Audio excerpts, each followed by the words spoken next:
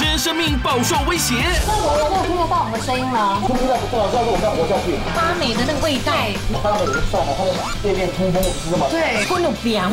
对，厨余就是那一种酸酸的味道。这个房子每一个房间都不同味道，味道最可怕，闷不通风，缺氧。